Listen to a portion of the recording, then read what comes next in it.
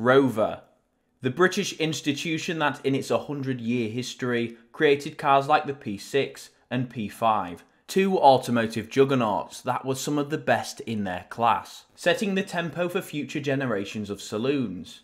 Mismanagement, strikes, and poor judgment would bring Rover to its knees, and after 100 years, the marque that was once described as creating some of Britain's finest cars was gone. There are some Rover cars that are lost to time, some that never made it, through poor decisions, industry strife, and some that were simply too little, too late. This is the story of the forgotten Rover prototypes and concepts, like the Rover 700, a futuristic replacement for the 800 to reignite confidence in the brand, and the Rover Odin, an MPV years ahead of the competition. Hello everybody and welcome to this video. If you're not subscribed already, please make sure to do so. It really does help me out and you get to see more of this. More cool conversions, more prototypes, more car reviews soon, and more interesting projects like 2600R my Rover SD1.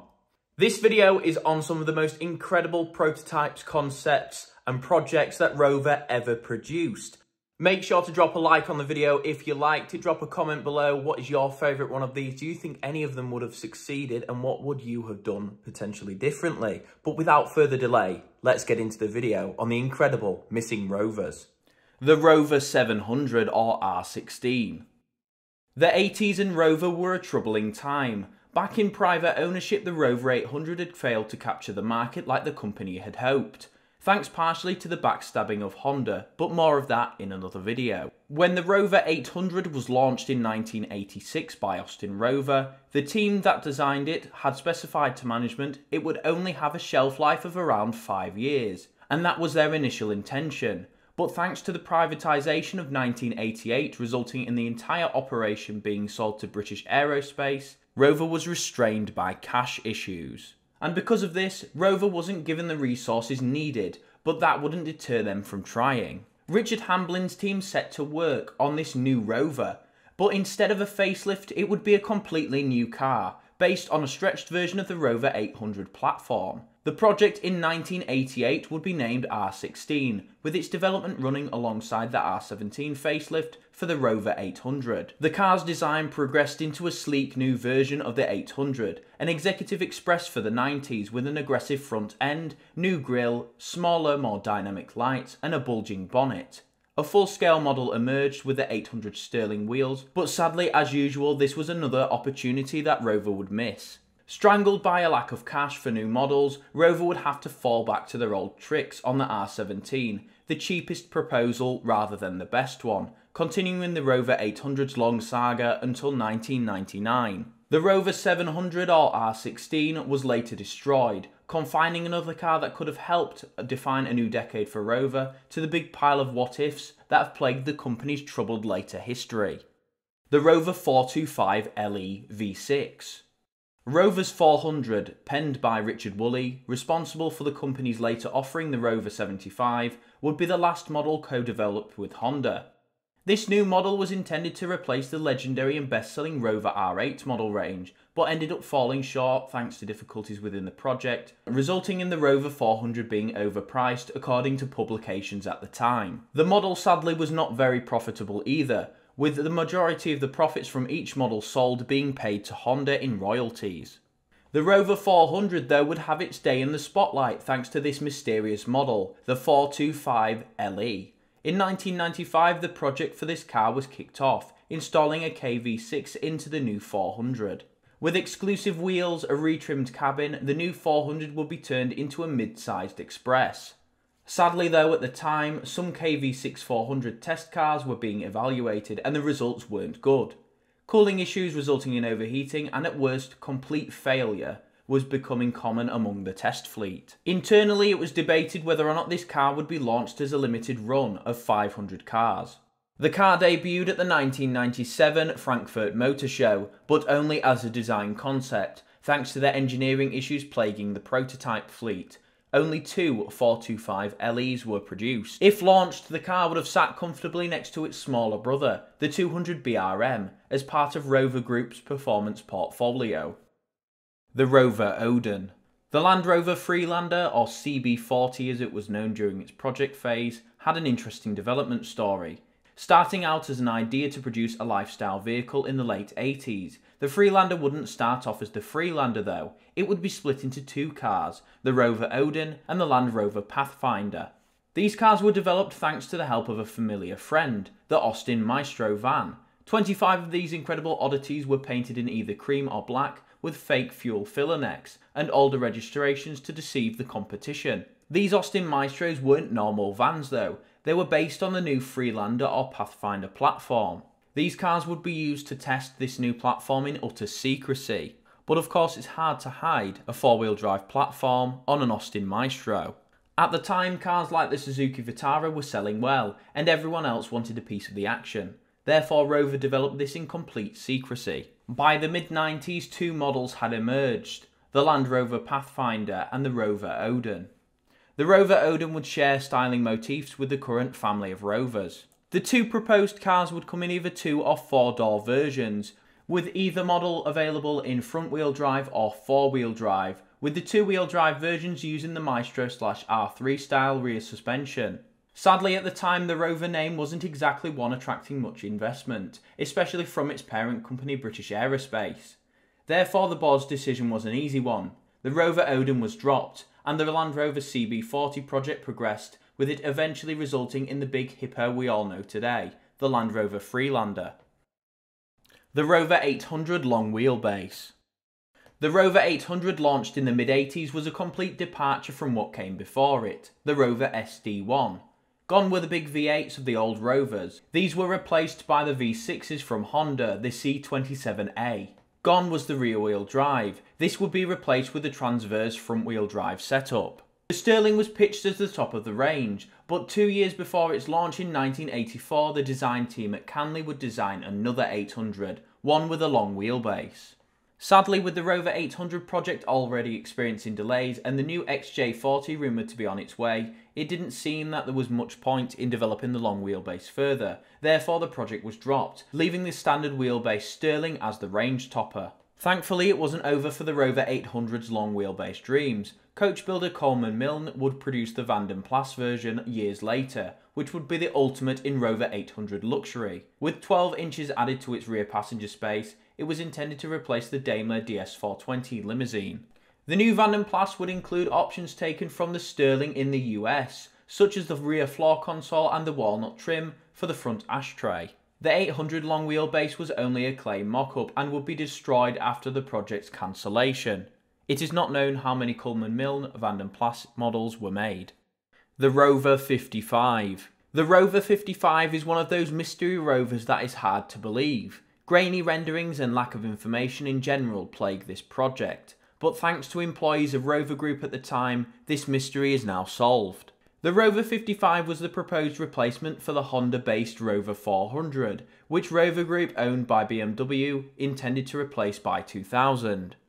In the late 90s the Rover badge was on everything, even the humble Metro.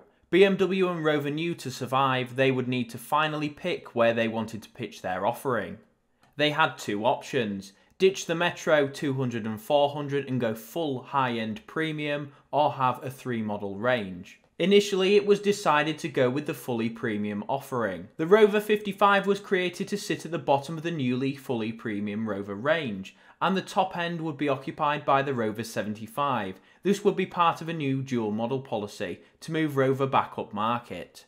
By the late 90s, the project was in its later stages, with the engineering teams and designers at Rover hard at work creating the new Rover 55 and finishing off the work on the Rover R40, which would become the Rover 75.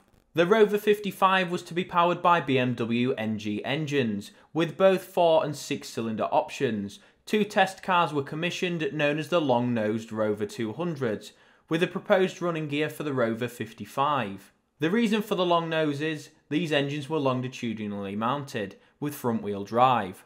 The design of the Rover 55 was penned by Richard Woolley, with a clay model completed in Gaydon in the spring of 1997 and a composite model built by Futura, a contract in Birmingham. The car, along with the Rover 75 styling model, was shipped for a secret photo shoot at Ragley Hall. But then, disaster would strike. By 1999, BMW had slammed on the brakes. Internal turmoil and BMW's then decision to take Rover back down market with the Rover R30 project led to the project's cancellation. The models would later be destroyed, but thanks to Geoff Upex, one would survive for a little bit longer. This would be stored at Gaydon until 2005, when it would be destroyed. There is much more that can be said about the world-beating model range that Rover could have had under BMW if things hadn't have gone so badly. A Rover 55 Coupe, a 35 Premium hatch, and of course the Mini, included with the Rover 75. If you'd like me to cover the future or the lost future of Rover in the 2000s, let me know in the comments below. The Rover R30 has its own video which I've also linked in the description. The Rover 75 2006 facelift. The Rover 75 was the last chance saloon for a company that desperately needed success. After its introduction, it would be facelifted slightly in 2002 with smoked lights and new trim, and again in 2004 with the Mark II, with the new Rover branding and styling. MG Rover in 2004 knew in order to survive, they needed new models, but without the funds to develop any and no partner to help finance any, Rover were in a predicament. Therefore, it was decided to explore another interim solution, renosing the Rover 75 again. This time, MG Rover designer Lee Mitchell would give it a try, with a new model to be introduced in 2006. This car as pitched to the team though, wasn't just a renose, It incorporated a 103mm stretch to the car's wheelbase to improve the room in the rear. On the inside, the car would get interior changes shown in the early Rover 75 Coupe concept, which I also made a video about, including its mysterious fate, linked in the description below.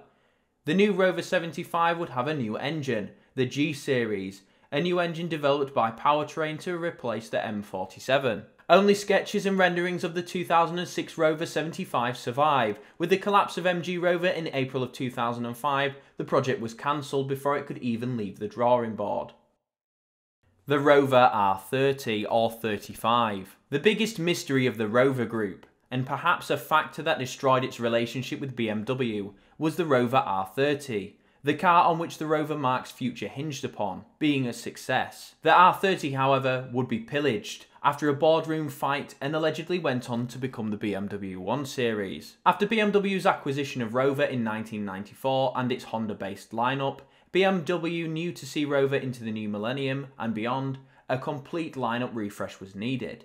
BMW were also tired of paying the royalty payments on the Honda technology used in this lineup.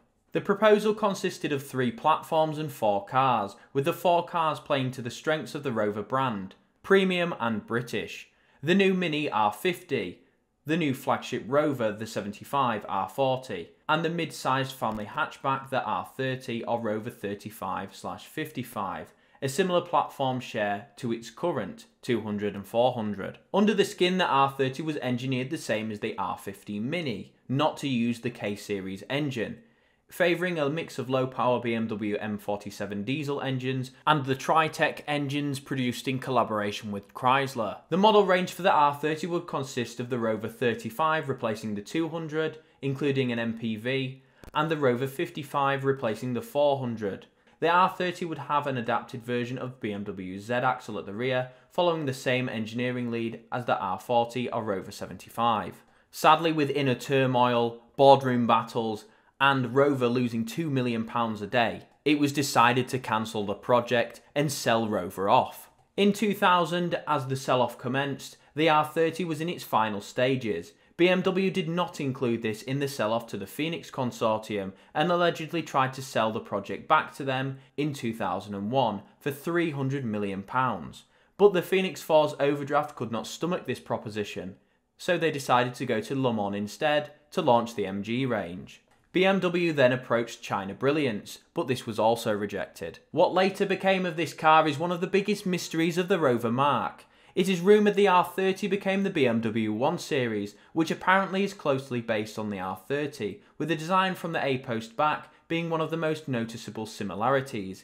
Even before BMW's takeover of Rover in 1994, BMW's engineers had been exploring the idea of a baby BMW, which of course was changed when BMW plunged its resources into Rover Group.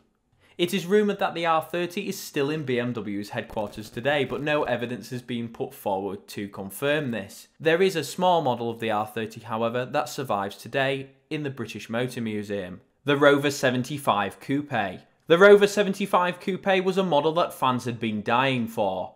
The car designed by Peter Stevens was an absolute beauty, and probably would have taken the coupe market by storm in the mid 2000s. Initially created to impress NAC, which were currently at the time in negotiations with MG Rover to create a partnership. The Rover 75 Coupe would serve as a preview of what was to come. A new interior with yew wood and tan hide, new gauges, a restyled exterior with the premium grille from the Rover 75 V8. The coupe was the full package and was a brilliant celebration of Rover's first 100 years. Sadly though, this car would never be produced, when the company collapsed in 2005, the only coupe ever produced would be sold to NAC, who would remove the badges and brand it as an MG in their flagship showroom. The car after this would be neglected, but thanks to its current owner the car would be saved in 2018. The car is still around today but owned by a private individual. I have a full video on the development and history of the Rover 75 Coupe which I've linked in the description. The world of Rover's missing cars is one of lost opportunity, industry turmoil and tragedy. But it is also a showcase of some incredible cars and designs that could have been, made by some of the most incredible engineers and stylists. Let me know which one of these cars you think would have been successful and what you'd like me to cover in the next video, including one of these models more in depth. But as always, thank you for watching, keep watching and remember to subscribe for more of this, and I'll see you in the next one.